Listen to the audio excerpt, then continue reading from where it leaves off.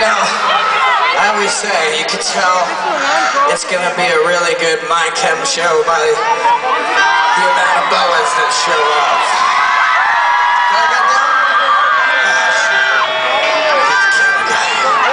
How the fuck are you, Hartford? Oh shit! Am I gonna do with all these boas? There's almost people on the stage so.